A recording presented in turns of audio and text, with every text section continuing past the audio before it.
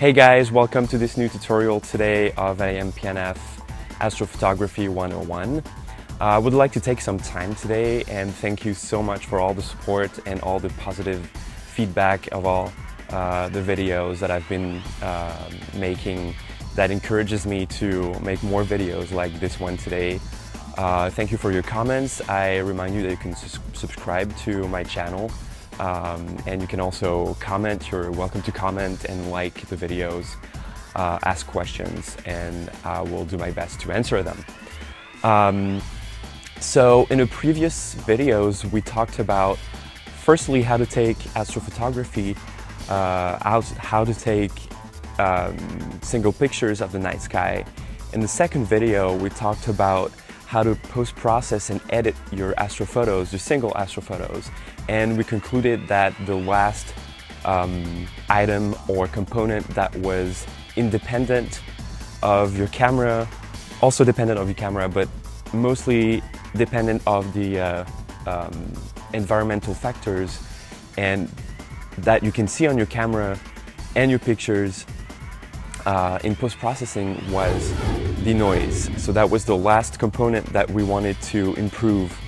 Um, and in the last video, we talked about the lens, the different lenses that are good for astrophotography, so how they affect the light in the um, final image and how to best choose your lenses to get the maximum light and the best results for your astrophotos. So today we're going to be focusing on three main things. The first thing being the noise. There exist different types of noise that many photographers don't really know about. Um, things that come outside of the camera, things that comes from the camera, and you can see on your pictures. So we're going to be talking about that. We're going to be um, talking um, on the surface, but we're also going to touch the more technical, nerdy stuff, I think it's important that you get a clear picture of what's going on, especially when taking astrophotos, because you're going to have, you're going to battle with noise um, because you're going to be shooting in low light. So that's super important. That's a chapter that is super important, that is capital that we're talk about that today. And the second thing we're going to talk about is the ISO. Um, does the ISO affect the noise? Uh, you know, there's a huge misconception about what ISO actually is, and uh, so we're going to be talking about that, how to set up your ISO, how to work with your ISO, so that you can improve your astrophotos. And the last thing we're going to talk about that is actually correlated to noise is the camera sensor. How to choose your camera sensor to um, optimize and get the best um, result on your astrophotos.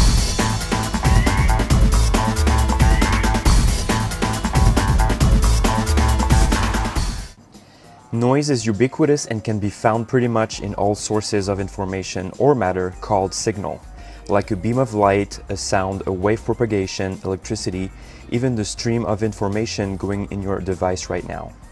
A signal is never really pure, as the laws of thermodynamics in a system, even in a vacuum, suggest.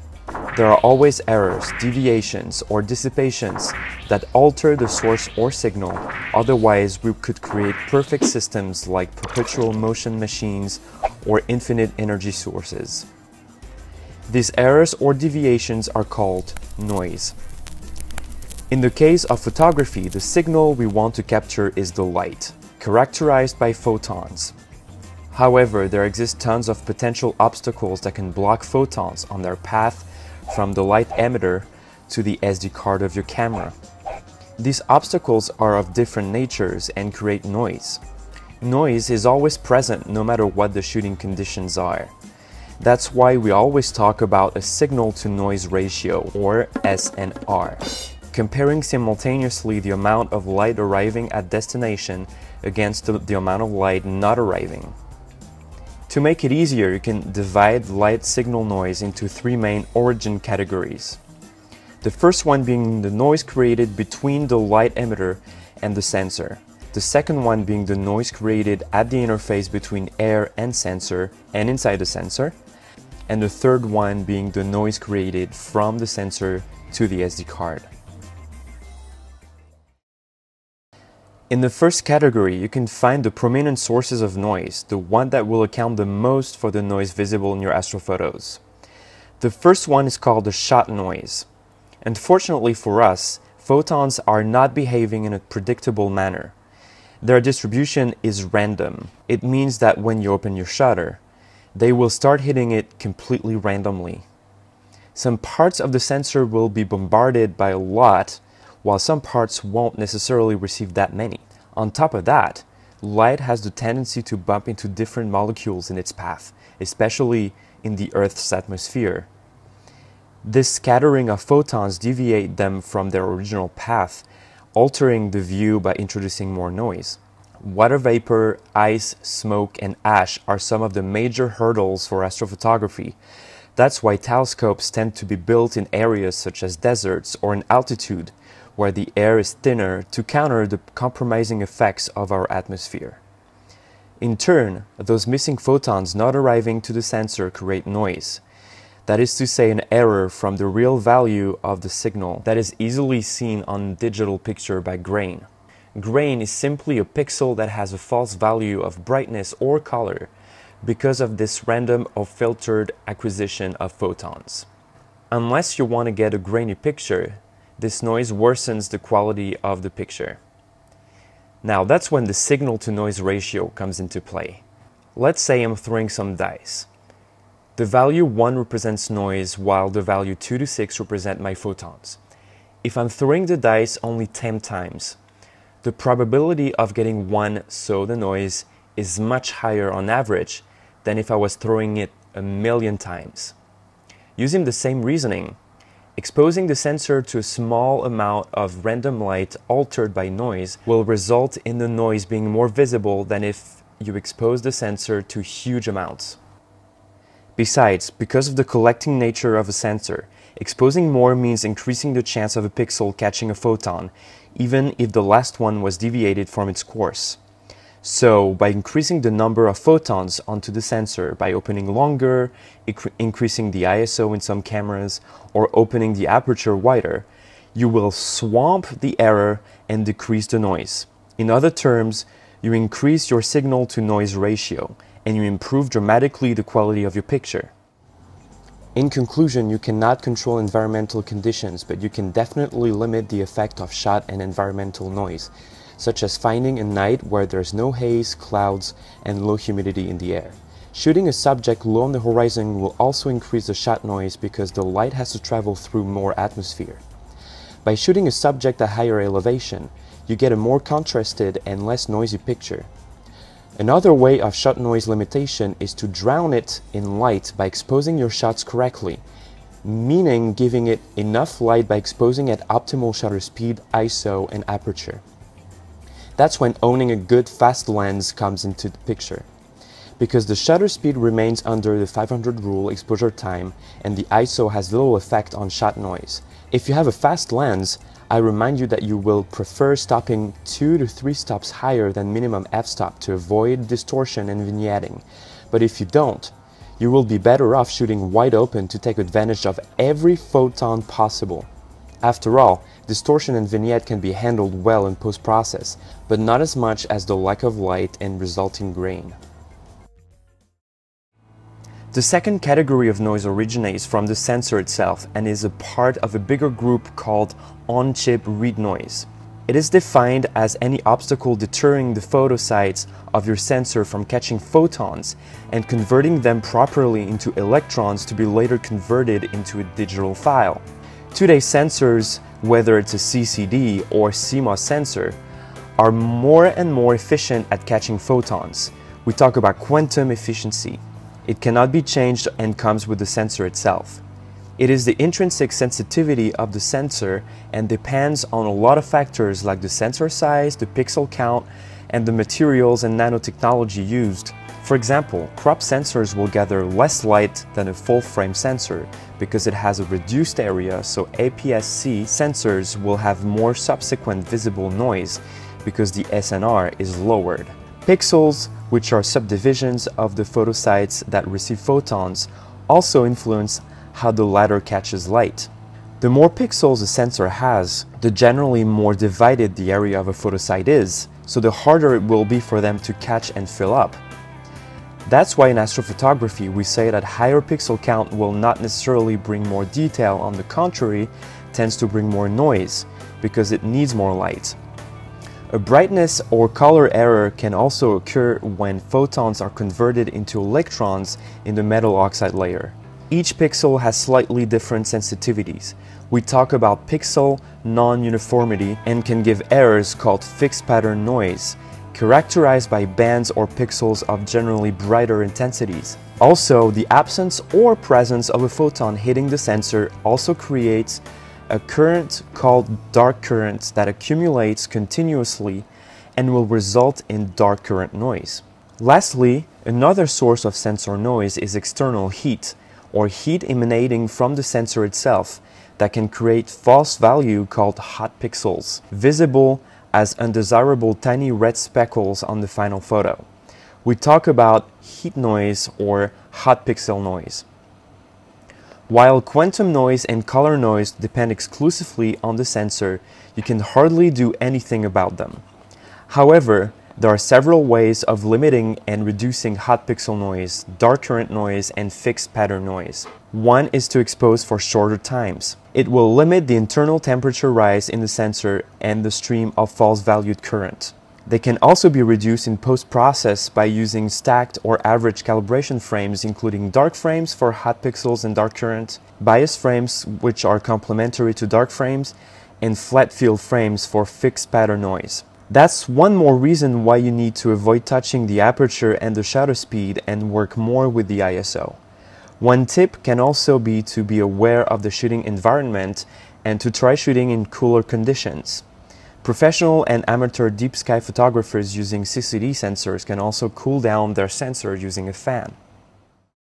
Eventually, the third and the last category of noise is created between the moment the electrical signal leaves the sensor after the collect and passes through all the components of your camera to be eventually converted into your digital file written on your SD card. This noise is generally called off-chip read noise and depends exclusively on how your camera is built. After it left the sensor, the analog electrical signal is transferred to a downstream chain of components like the ADC, also known as analog to digital converter, that converts the analog signal into a digital one, or the CPU, which stands for Computer Processing Unit, that writes the file onto the memory card. All these transfers and processes introduce noise by dissipation of energy and or interferences. The more performant and the shorter this downstream chain is, the less likely it will make processing mistakes, so the less likely you will see read noise on your pictures.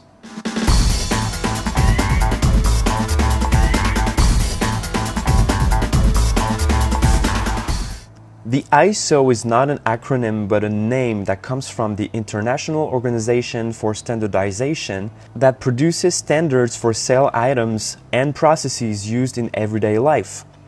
Back in the days of film photography, film bands were attributed a standard ISO. So it doesn't read ISO, it reads ISO to be pronounced in different languages like French, ISO. So the film bands were attributed a standard depending on how big the silver grains contained in the films were, so how well they could react to light. ISO has nowadays transferred into the world of digital photography and is a setting of your camera that, if mastered well, can literally revolutionize your photos and especially astrophotos. Now, in order to debunk a big misconception of the ISO setting, let's dive right into what it is and what it does. First and foremost, the ISO is not the sensitivity of your sensor. Huh? The sensitivity of your sensor is fixed and depends exclusively on its quantum efficiency, the probability of a photon being captured and transformed into an electron. The ISO is a dial that actions an analog or digital signal amplifier situated in different places in your camera. You can see it as a tuner that balances the lack of incoming signal in most CCDs and CMOS sensors, you have a post-gain analog amplifier situated in the corner of your sensor for the former and directly on each photosite for the latter. If it does not receive enough photons, the amplifier sends signals to the sensor to boost the readout voltage to reach saturation and make an adequate exposure. The ISO has a times 2 scale and generally goes from 100 to 25,600, but can also be extended as well. Each increment corresponds to one stop of light, so by increasing ISO from 100 to 400, for example, you will gain two stops of light. Now, what about the saying that says, higher ISOs equals more noise? It is partly wrong and partly true, depending on what sort of noise you're talking about. Any noise that comes with the signal prior to the amplification, which is to say shot noise or on-chip read noise, also gets amplified. That's why it's important to keep the signal to noise ratio in mind. In this case, the ratio remains the same. So if you had a high SNR to start with, with a lot of light compared to the noise, this type of noise will have significantly less effect on your final picture. On the other hand, if your SNR was very low to begin with, meaning that your picture was underexposed, you will likely see the noise more on your file. So in this particular case, increasing the ISO will increase the noise and also the light. But again, how visible it is depends on your signal to noise ratio. Unless there is a big downstream digital amplification, the off-chip read noise is not correlated to the ISO and will happen no matter what. It actually adds up to the noise previously created upstream. So if your SNR was low, you may get a picture that is unusable with a lot of noise. One downside of the ISO to be careful about, including the SNR, is the dynamic range directly correlated. By boosting the signal too much or too little, you risk worsening your dynamic range by respectively clipping the data in the highlights or in the darks. The best way to avoid that is to find your camera's optimal ISO for astrophoto. So how to work with the ISO setting in astrophotography? According to what I just explained, working with ISO is primordial in astrophotography, and that's when knowing your camera comes into account. You need to find your camera's optimal ISO, meaning the ISO setting that gives the best dynamic range for the SNR. Now, some cameras called ISO invariant have whole ranges of the ISO scale for which the off-chip read noise level added doesn't vary because their shorter downstream electronic chain can more easily read the signal when it's well amplified. For example, a lot of mirrorless cameras like the Sony a7S have the same level of noise from ISO 3200 to 12600, provided that they have a good SNR. On the other hand, most DSLRs are ISO variant, and changing the ISO settings will result in noise variation. To find the optimum ISO of your camera, you should go out and shoot about 10 raw pictures of the night sky during a colder night using the manual mode of your camera, the same aperture and shutter speed between the shots I recommend already using the 500 rule depending on your lens and stop up 2 to 3 stops higher than minimum aperture to mimic the real shooting conditions that you will soon adopt. Then, higher the ISO for each exposure and remember to turn off the built-in noise reduction. In post-process, match the total exposure of each file and compare the noise levels. The best ISO setting corresponds to the frame with the least noise. Generally speaking, you will not see tremendous changes from one increment to the other. Here's an example of ISO test I've run on my Canon 6D, and you can see that the best low light noise performance is between 3200 and 6400. These tests completely depend on the shooting conditions, the lens, and other settings, so they aren't necessarily general rules, but they mostly enable you to find the best ISO setting that will swamp the read noise the most. An example is shown here with the Canon 6D against Nikon D7000 read noise performances.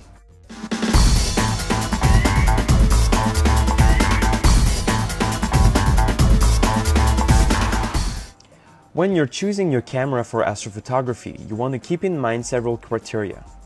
The first ones that I won't talk too much about are very subjective and are things like Are there any flip-up screens or dual SD card slots? But what about the battery life? That's what you do for all types of photography.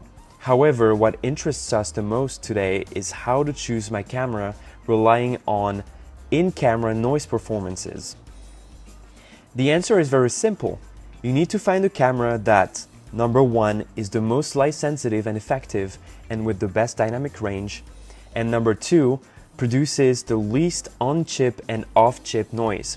As a rule, you will prefer a big sensor compared to an APS-C unless you want to do deep sky or have the possibility to track or stack. Full frame sensors are bigger and as a result can gather more light. However, I also encourage you to be cautious about the pixel count. As we said, more pixels generally means less light gathering efficiency, unless it's compensated by something else. I would point you towards sensors with lower pixel counts ranging from 12 to 25 megapixels, for example. But if you're nerdy enough, you can also look at the quantum efficiency of the sensor. Now, dark current values and other noise sources aren't necessarily specified when you buy a camera. You want to buy a camera that has the best ISO against read noise performance, exactly like the test we made. Taking all that into account, here is my top 5 cameras for single picture astrophotography. Of course, it's far from being the most comprehensive and it doesn't take the price into account and all of these cameras are pretty pricey.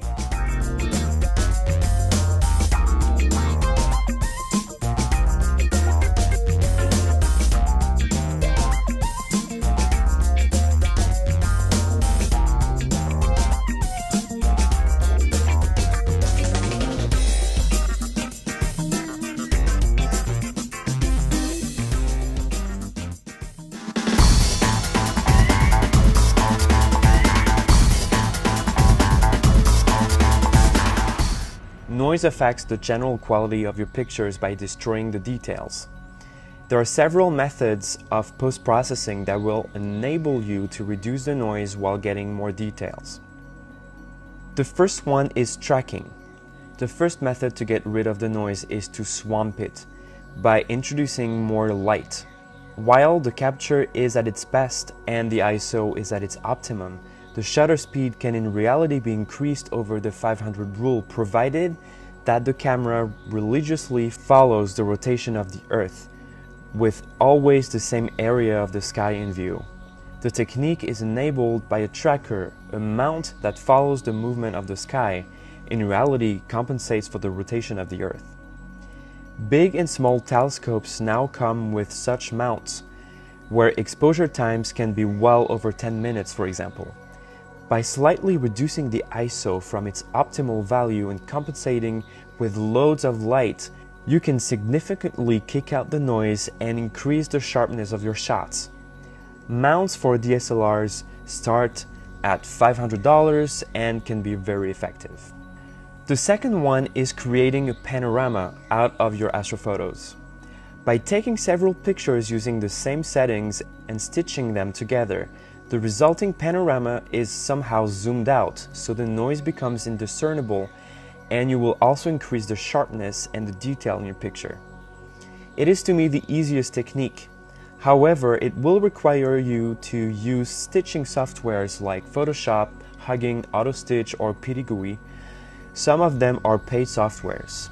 I will probably show you my workflow in PTGui Pro in another tutorial and you can find a list of designated softwares in the description below. The third technique is to stack your exposures. Stacking means to align and superpose your frames so that each pixel receives an average value so that the noise disappears in this average. In this way, you decrease the noise while increasing contrasts. It's an extremely frequent method in astrophotography and I will also attempt to show you workflow in the next tutorial. The fourth method is to use calibration frames. I won't linger on this one too much, but as I mentioned earlier, the different sorts of on-chip read noise can be dramatically reduced using dark, bias, and flat field frames. The fifth method is to combine all of the above. Since one method might not be enough in the search of the most noise-free, detailed, colorful, sharp and contrasted image, You can, of course, combine the methods we just talked about. A lot of amateurs and professionals actually stack tracked images, sometimes from different cameras, conditions, or even different people.